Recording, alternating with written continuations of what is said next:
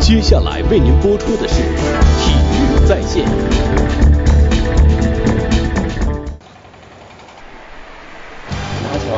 二零一三年七月的一天，体验真功夫剧组在河南省的一个小县城里开始了第一天的拍摄。从这一天起，我们逐渐接触到了一个古老而神秘的领域，那就是中国传统武术。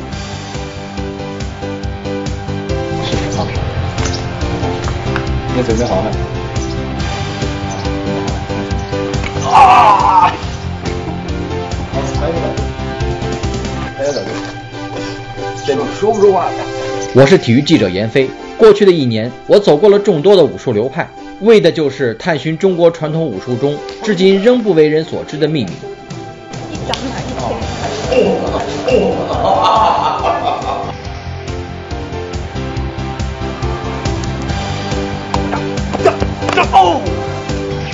武术嘉宾赵继龙来自澳大利亚，实战派武术家，国际格斗赛事形象大使。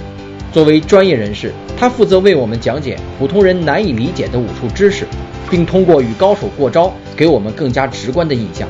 这样我本来想划眼睛，但是被他改变方向，只划了他就蹭了我一下，就蹭了一下。啊啊！我这个手往前面这一蹭的情况下，这个手已经。加油！咱们这新买的衣服，这真是不行了，已经报销了。可惜了吧？Eric。美国人，我们的另一位体验嘉宾，他对神秘的中国功夫无比向往，想通过节目学习其中的一招半式。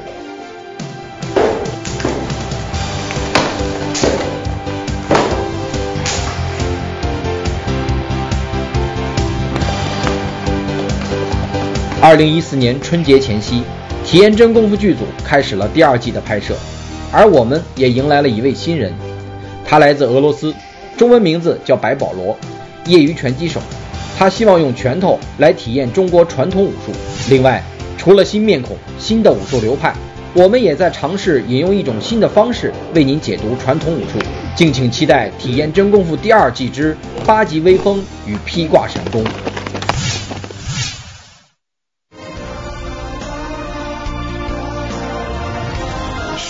爱的幸福，是百万的信赖。至真至美，新一代福美来 M 五。我能为您做些什么？我能为您的品牌赢得更多的信赖，让您的身影遍布世界的每一个角落。这就是我，装饰金桥。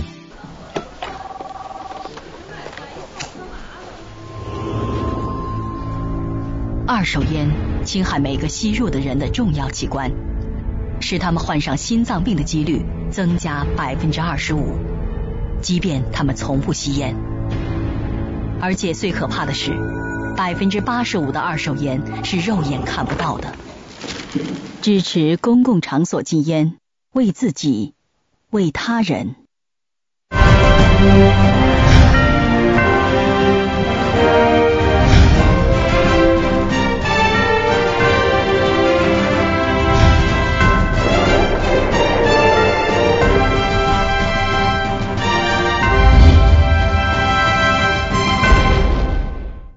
Just give a full power of punch okay. on my belly. Okay.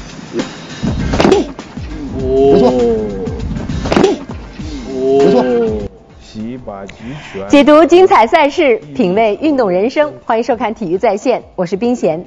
上周我们一起领略了八极拳的威力，这种讲求近身短打的功夫威猛无比。但近身短打并不是质地的唯一利器。同样发源于河北沧州的披挂拳，就展现出了截然不同的风格。这是一种讲究放长击远的传统拳法。劈，势如破竹；挂，拨打撩阴；刀，见血封喉；棍，如风似魔。我是白保罗，是个刚来中国的拳击爱好者。我是赵继龙，习武二十多年，注重实战。我是记者闫飞，一个完全不懂武术的普通人。三人亲身体验，只为寻找真正的披挂神功。二零一四年春节前夕，我们在北京体育大学找到了愿意为我们展示传统披挂拳的师傅王华峰，披挂拳重要传人，北京体育大学教授。他同意为我们安排一场实战切磋。劈挂拳呢是一个非常特殊的拳法，它跟绝大多数中国其他拳法不同，训练方法非常有意思。一会儿你们注意他们的双手，啊，一出手这他啪就下去。第一眼看到这个拳的时候，真是拳如其名，劈挂，但是整个手臂感觉软绵绵的，到底有没有力量呢？从动作上完全看不出来。我们真得用实战来检验一下。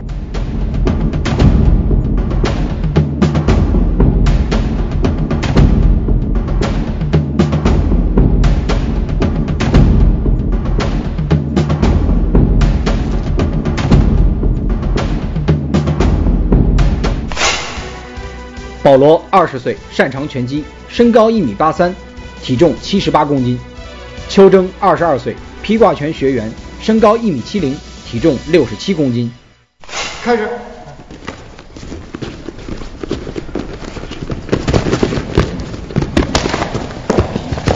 好，跳，预备，开始。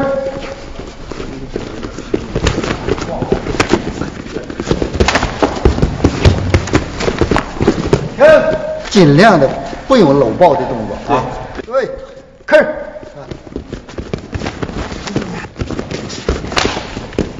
开，开，哎，对，跳，跳，跳，跳。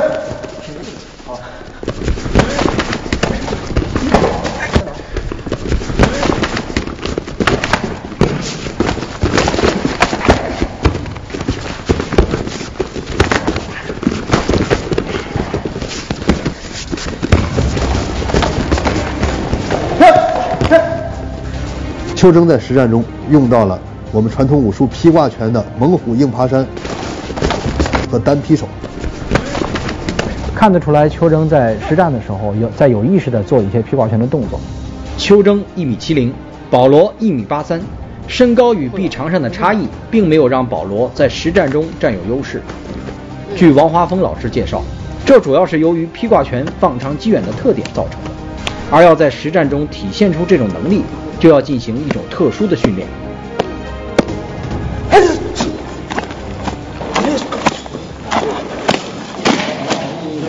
我刚才看您练习的时候，咱们那个同学们那个手都已经练得红了，那种都肿了的状态，他是不是打的对方会更重？应该是打上更重。练了后的效果，他这个手沉了，因为他练完他胀的，为什么胀呢？血液冲到手背上，它能够比不练之前要重。气血通透，你打出来的力子通透。手臂似鞭，拳头似锤。劈挂拳要求习练者把身体的梢节当作武器，在胯部及肩膀的带动下，将武器抡出去。于是就有了这种看似绵软的训练方法。然而，就是这种类似于甩手的训练方法，真的能够在实战中增加进攻距离吗？为了更进一步解密劈挂拳，摄制组决定让我来亲身体验劈挂拳的距离优势。很远，很远是吧？哦哦哦哦！我们的规则是攻击长度必须是刚好一臂距离。保罗由于惯性向前迈出一步，因此这次击打无效。No no no！你犯规了。这样小多了，基本上感感受不到。由于被卡住了身体，保罗的击打并没有产生多大的力量。邱征出场。他的攻击半径也同样是一臂距离。好了啊，开始。哦，哦，这个力量很大。那我应该再远一点，我觉得。你刚才是，你刚才是刚刚能碰到是吗？碰到。位置没变吧？没。你的拳可以到我的那很很深的位置。这是他劈挂练的就是发力的时候，他是有这个。那我再远一点试试来，这种能能打上吗？打着了，试一下。哦，一样。一样，真的一样。一拳的距离是什么，差不多啊。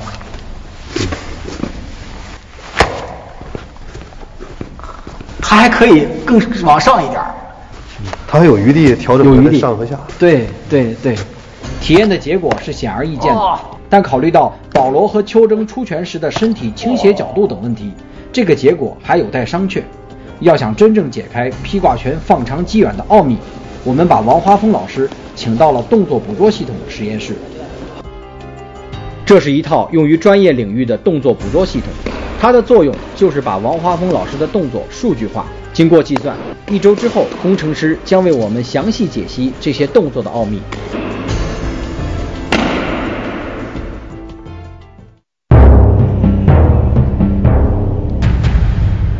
在等待数据的同时，我们一行人来到了武术之乡河北沧州，而这里就是劈挂拳的发源地。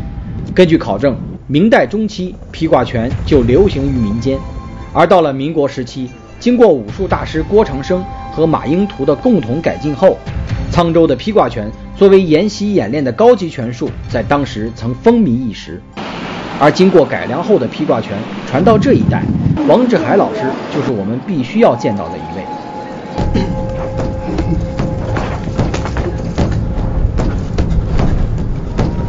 真正一些招的手上了，他出现嘛呢？出现棍雷劲，唰就就就就就弹了，硬，这看，他这是这玩意儿是联系的啊，这个手跟手一交，它就打起来了。哎，这打你看这手它就冒着了，啪打下来。你说大家大家得得到了，得练这个东西，这是手快。有有有有有。您是王志海老师。对对对。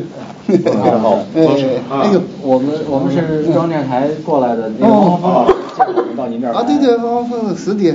啊，您这是在练劈挂拳吗？对，这不给学生嗯，这都是您的交流，哎，这这个这个给他们讲讲，现在看。啊。王志海，河北省沧州市沧县人，二十一岁拜披挂拳名师郭长生的儿子郭瑞祥为师。我们现在所处的这家武馆。就是他创办的，主要教授的就是披挂拳。我们这次来的目的就是让保罗学习正宗的披挂功夫，并与王志海武馆里的徒弟进行一场披挂拳实战。对对，再来再来，啊，看这手嘛全不对，这个手啊就像刀一样，这个印儿在前面，不能说在这样去，而是这样打的。哎，劈挂拳呢，主要这两个字儿。一个是劈，从上往下为劈，从下往上为为挂。看到王志海老师对保罗的训练，他还是强调这个抡起来。但是在实战中，其实你抡的幅度越大，它的破绽其实是越大的。它真正能在实战中发挥这种作用吗？哎，好，你像你适合适合劈这个东西，因为你这个手长、臂长、手大，练这个最好。劈挂拳的基本呃动作呃比拳击的基本动作更难。在劈挂拳，你要从下面往上面动你的手，要一直放松一点儿。拳击的时候，你要一直嗯有一点点紧绷着。保罗看似强壮，但他的最大问题是他放松的不好，而王老师放松的非常好。这种放松就能产生一种杀伤力极大的松沉劲儿。嗯，挂也打。他这个这手啊，就就就就一块，他不，就是想法这个手啊，不让你出手，做出来以后吧，对，有点一个，看，你这个你就觉着别扭了，你另外咋不行？拧拧转，这是手手跟手碰一块儿，你看你你看你这胳膊粗，你看我一皮儿吧，在那打，你看，你看他就，就他就，你看这个，你看，你看你这个。哪打？你看，我这个从到他到他看他手他受不了，你再打那个，他哇！你看，我这呢，他他没事。螺旋力，光靠他那个硬砸是不行的。对，一要碰到老师的胳膊就非常疼，真的疼的要命啊！暂停一下，我一点也不能再继续，因为真的很疼。大劈大挂。大开大合，放长击远，收放自如，这是练习劈挂拳追求的境界。他对身体的柔韧性提出了很高的要求。经过几天的练习，保罗强壮的身体能否驾驭看似绵长舒展的披挂拳呢？训练之余，为了体验披挂拳的特点，保罗开始尝试和拳馆里的其他弟子进行切磋。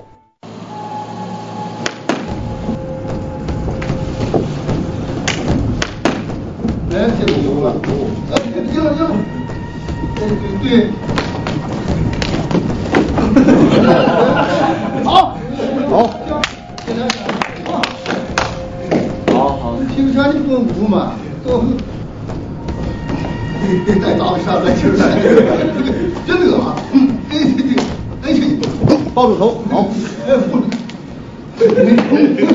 我的感觉，他的手臂也特别放得很长，所以我一点也没有躲开。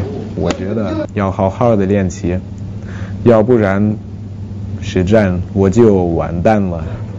虽然保罗面对这里的老拳师显得毫无招架之力，但是刚刚的切磋却让我产生了一丝疑惑。劈、横、胆，这些单式看似威力巨大，但是他却要求习练者把拳头抡出去。如此大的动作会不会产生破绽呢？放长击远是对的，但是人家离你近了，你不能在这动动。你看吧，这个动作非虽然非常好，但是你在使用的时候，它速度太慢。打一个劈横，一块就就就就就打起来，你这是不是这打的时候啊，子弹一样刷，都是两枪，不是这到地方。老这不行，一打就两个。老爷子啊，那老头说过，不打人。你看，成成这，你看有时候你看，你出手打你手，你打进打你这个地球啊，打你这个地球，再一个打你脉窝，打你脉窝，打的呀你出不来手了，你算白了。爱国将领戚继光在《拳经节要篇》里说：“披挂横拳，而其快也。”称赞披挂拳拳术快猛迅便，但是不掌握核心劲法，学来的也只是皮毛。披挂拳的核心劲法究竟是什么呢？这个披挂拳的劲儿，辘辘翻车，翻车辘辘，嘛叫辘辘？到你们那不知道，你们也年轻。到我们这哈，脚底过去没有电，在井啊，到井了。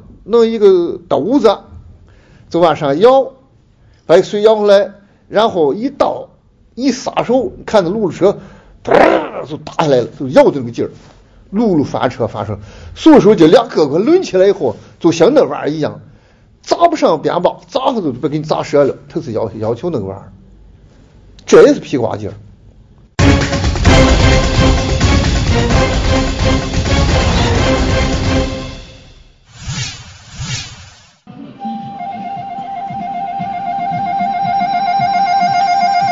沧州自古武风盛行，除了各家的拳法，兵器种类也非常多。苗刀就是我们另外一个探访目标。来到武术之乡啊，我忍不住要比划两下。我手里这把苗刀可不得了，明朝的时候，抗倭名将戚继光就曾经用它让倭寇闻风丧胆。至今，这把刀仍然威力无穷。这把刀的威力到底怎么样呢？今天我们要试验一下。苗刀长五尺，兼有刀枪两种兵器的特点。一九二一年定名苗刀，因刀身修长似禾苗而得名。民国时期，由于披挂拳的一代宗师郭长生擅长苗刀，所以苗刀功夫在他的弟子中广为流传。其实我们在北京体育大学的王华峰教授那里。已经见识过苗刀了，但是因为一般的苗刀是表演用刀，我们很难测试它的杀伤力。而在沧州，我们听说王老师有一把真正的苗刀，所以我们决定进行一次试验。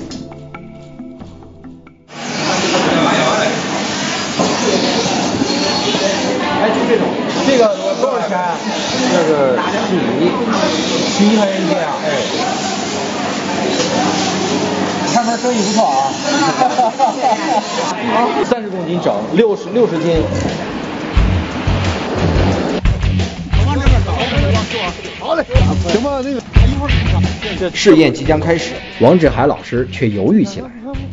谁给老弄一块肉上的皮去？就没心里没根。我老怕把我那个刀劈坏了，我的别的没事儿。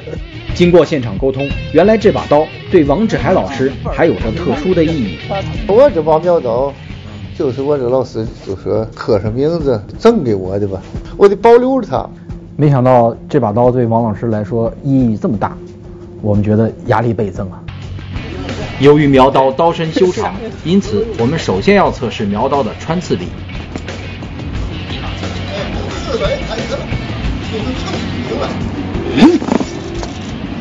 再来，再来。前两刀刺中的是皮肉，接下来这刀刺的是有骨头的部位。哎，这这好，知道吗？那就这样。啊，那么大的伤口，如果是人的话，就杀死了。这个肯定是没救了，就。王老师，这个刚才他用的这个动作是叫什么动作呀？呃，叫硬推刺，硬硬推刺，嗯，硬推刺。这个刀啊，在使用的时候，它还有一个防守的动作。啊，你比如说，兵器。对了，你好比说对方刺过来以后，我用它，你看他为嘛这样气呢？一本身一滚，对方的这个器械也走了，嗯，器械走呢，人也刺进去了，刺他妈的，敢刺进去以后。歘，就从那回来，你看这，还能你看这个口子，你看它这个好像都是带管的，是钉子型的。对了，都钉型的。你看咱们那个刺刀，嗯，你知道这个刀槽是干嘛的吗？啊，刀槽，那个就是往里血槽，血槽就往里进，往里送气。哦，让那空气进。如果说没那个槽，你平面捅了去，你拽不出来。对，被夹住了。这个意思就是一刀就要命的。啊，那肯定的了。咱们看到他这个刺的这个能力了，能不能劈呀？能啊。可以试试吗？小伙子劈，等会儿。那个时候我还是很紧张的，因为肉里面有骨头，如果只有肉的话，那对刀来说没有什么问题。你要把肉和骨头同时砍断，而且刀还不能有损伤，这个我真是心里没底。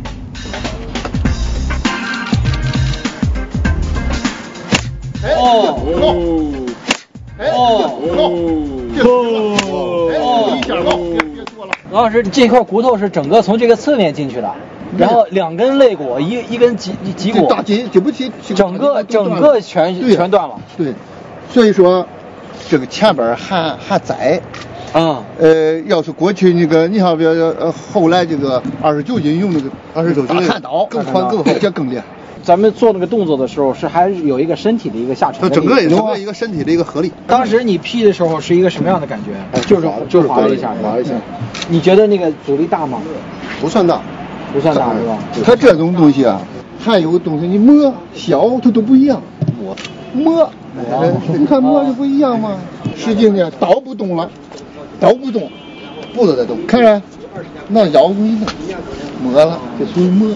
摸也可以摸脖，也可以摸肚子。是，我看我看，呃，你劈一下都劈不了这么深。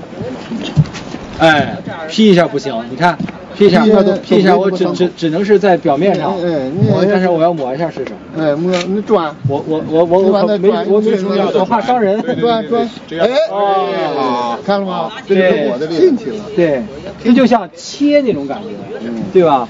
好刀，好刀，挺好，挺好，好刀法，好刀。中华苗刀，他你也看了那个刀的那个钢跟别人不一样，你看看着那样，那个印儿一点儿没。我一开始看我不愿看，我老怕我看坏我的刀，我因为它挂着，它跟你那样使招的不一样，挂着一劈它本身它有洞，它这个还没等洞就断了。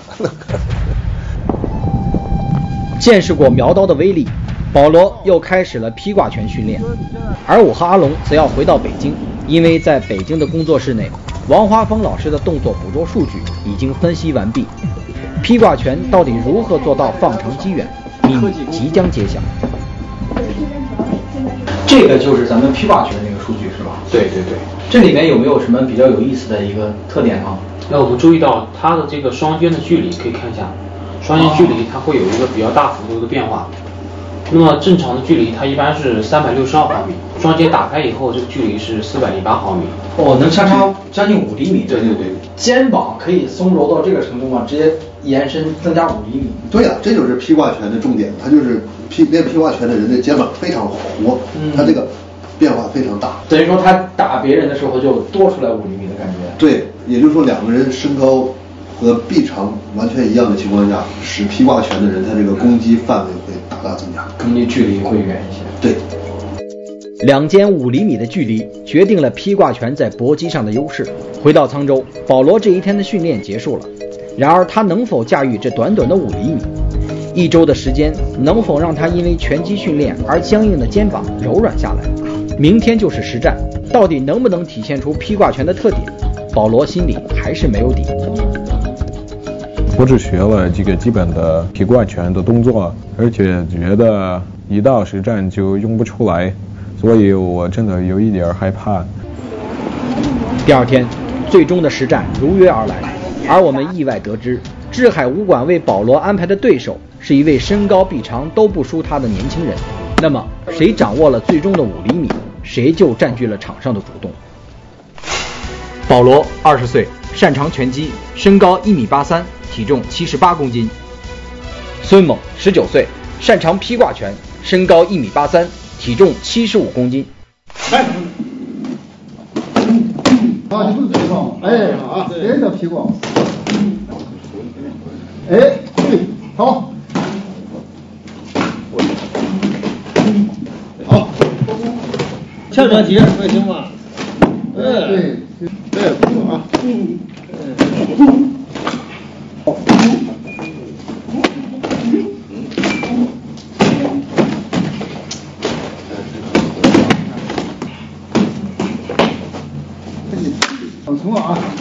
哎，这不用好了。哎，好的。哎，对，对，这刚才他那个也是，这不是这样吗？哇，这个好。哎，就是这种这个还用啊？对。对。那那也提多点。哎，那你看看这腿。皮化。哎，这好了，你看吧。对对。你看他的腿，美丽，绝了，美丽的。哎，好，嗯，好，这个地方，好，嗯，回报，回报，好，哎，没事，没事，没事。干啥呀？感觉怎么样？宫门那么稳，做的不错呀，很多披披挂的那种全都出来了，那种感觉。对呀，这几天没白练。对，不错，挺好。好，好，休息休息，谢谢，谢谢，谢谢。这是我最满意的一场实战，大家很高兴，我用出来了所有的动作。咱们一块儿尝一尝咱沧州的特色小吃——羊肠串。你能吃吗？这可以试试，可以试试。那我就试试吧。你确定你能吃吗？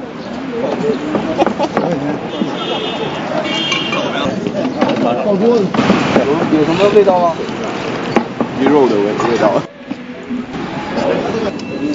这个汤头卖相真是不好，我觉得保罗不是很正常，味道非常好。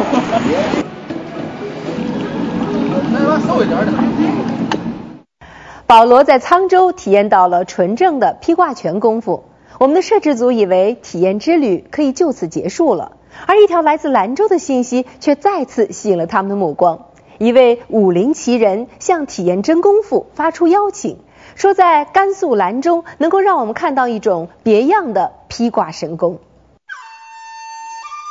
一八九九年，一代武术大师马凤图在沧州盐山学习披挂拳，随后他将自己的披挂武艺悉数传给了弟弟马英图。一九二六年，马凤图随着西北军定居甘肃。解放后，马凤图的四个儿子。结合父亲早年提出的通背理论，完善了通背武艺。至此，披挂拳作为通背武艺中的重要组成部分，也在西北地区流传开来。而马氏四兄弟也被称为马氏四杰。所以，我们这次体验功夫之旅还没有结束，而探访的第三站就是黄河岸边的甘肃兰州。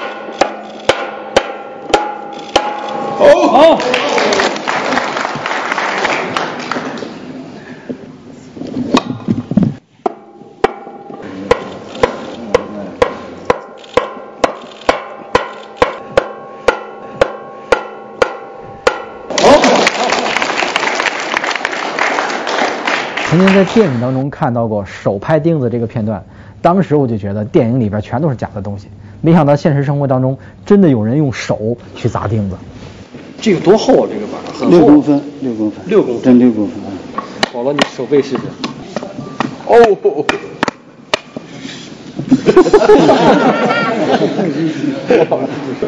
今天真是大开眼界，没想到来到兰州看到这么厉害的披挂拳功。刚才砸钉子这个张太师傅，他告诉我他的师傅也在这儿，看来我们能见到一位披挂拳的大师了。走，我们过去看看。刚刚呢，刚刚跟一个人做女朋友的时候，就做了他的女朋友。哦，在这，来来来来。这个话你可以小郭老师讲。这就是我的老师。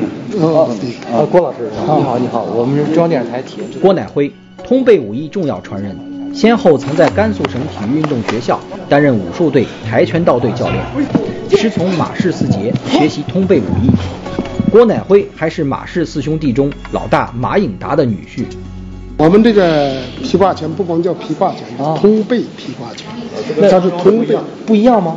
呃，基本上技术上差不多，在劲道上有点区别。哦，等于说是另外一种的披挂拳。呃，是一种，但是两个姿势分流的，两个呃分流的。通背武艺体系主要包括披挂、八极、翻子、戳脚。和西北的棍术器械。西北劈挂拳的基本技术是以通背十二大趟为代表的十二个单式，动作迅猛，最见劲道。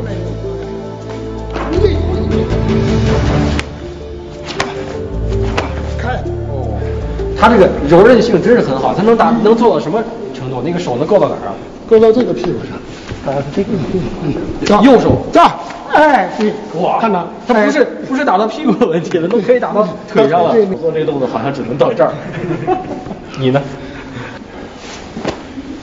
你看不错，对。你看我讲一下，为啥这个打回来了退胸？啊，就会了。你要不退胸的话，你看你打回来一个妈的打这个，自己打。练的时候也是有一个自我否定。那肯定的呀。啊，通背皮挂就是一个八级跟皮挂很好的一个结合。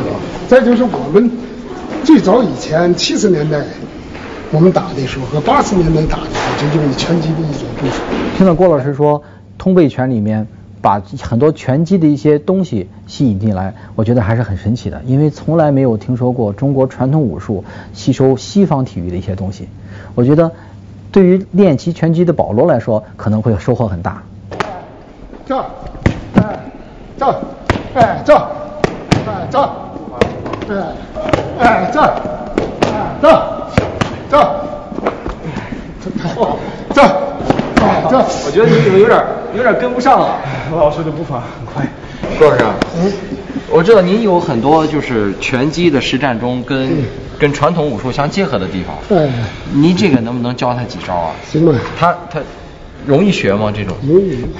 你像直拳，打直拳，是不是？我这一抱，哇的就劈回去。是不是犯规动作吗？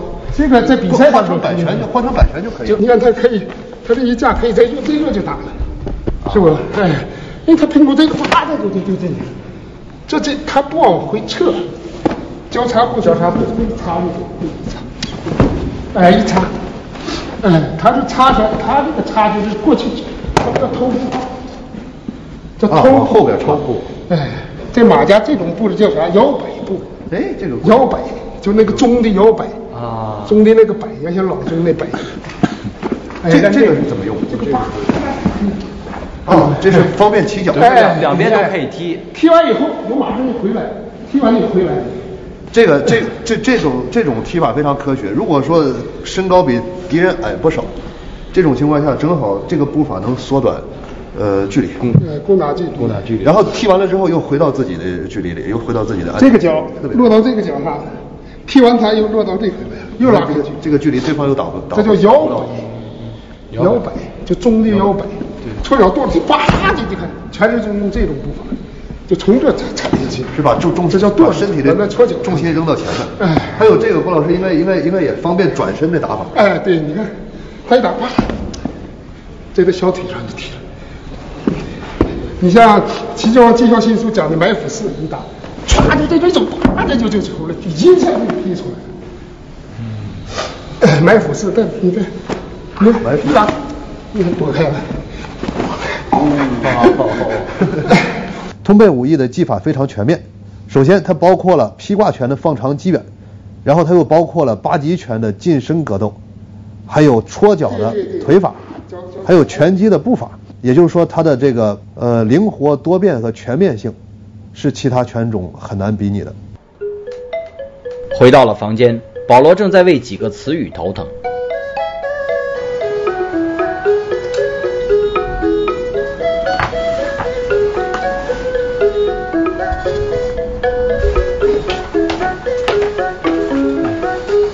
保罗，干嘛呢？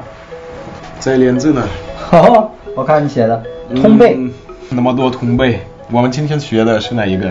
对，这个通背，准备的背。为啥叫通背武艺？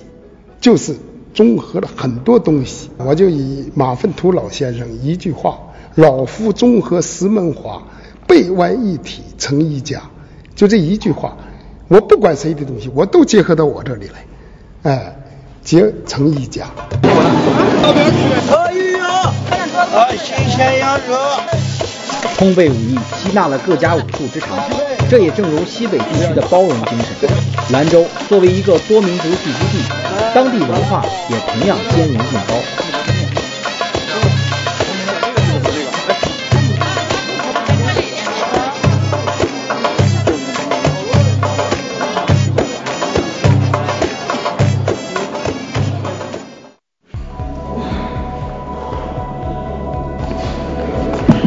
第二天，留下保罗在武馆训练，我和阿龙去拜访马令达老先生。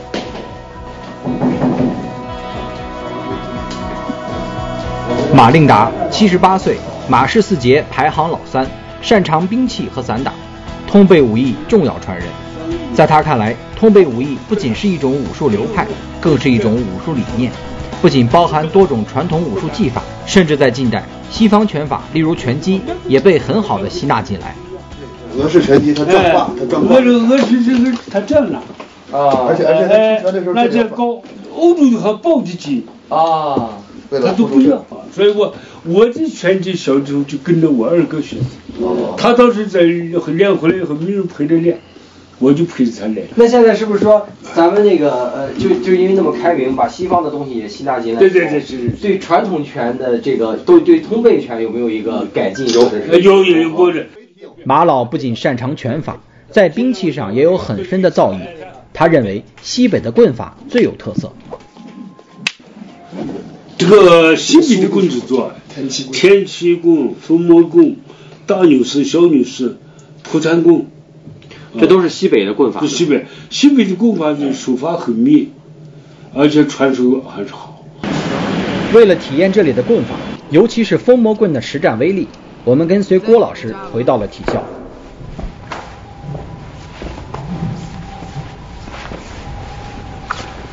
这棍子很轻啊，这个能打人吗？可以吗？看起来也很轻。对，郭老师，咱们这个棍法，我看起来这个力度不是很大，是吗？他主要打巧劲儿，拙劲、抡劲、劈劲，就打的就是一个巧劲儿，是吧？滑劲。哦。插劲。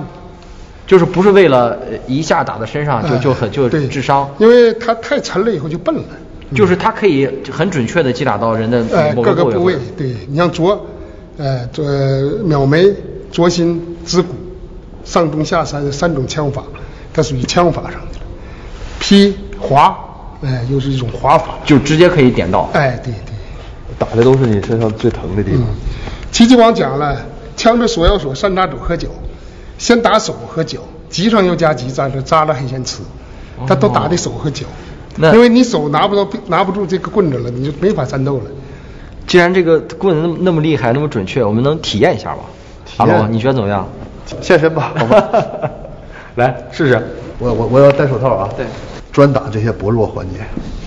由于风魔棍招招不离要害，所以摄制组出于安全考虑，让阿龙配合郭老师一起展示风魔棍的威力。哦，看到。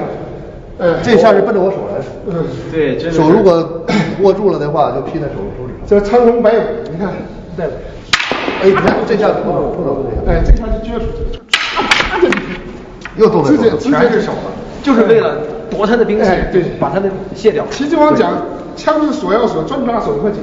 扎枪他必须得就就你哎你做，就是你看他他一来枪，唰就扣你，就是，又在手上。枪是锁要锁，专抓手喝酒，急上一架击扎的很很紧。啥？我觉得我觉得那个他们奔着目标去了，然后捎带手就能把这个哎，你像的动作给做出来，像粘漆，稍微粘出来就看到。哇，好险好险！哎，手套还是管用，能管用。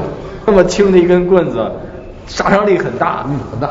要我只有一个选择，投降了。现在，马琳达老师和郭乃辉师傅还在甘肃进行武术传播的工作，而在北京和沧州，王华峰和王志海这两位师兄弟也在为披挂拳的传承做着努力。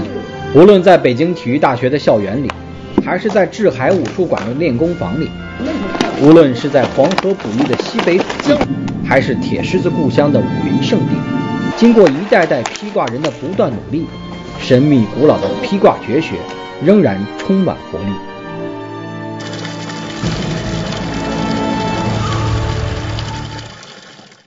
好了，今天节目就到这里了。解读精彩赛事，品味运动人生，我们下周同一时间再见。格力全能王空调。独创双级增寒技术，全面提升空调低温制暖能力。零下三十度低温超强制暖，使零下三十度寒冷地区采用空调取暖成为可能。这是前所未有的温暖感受。更重要的是，这是更加智慧和清洁的取暖方式。格力全能王空调。可以让我们用更加节能、安全、清洁、方便的方式取暖。格力，和你一起开创蓝天新时代。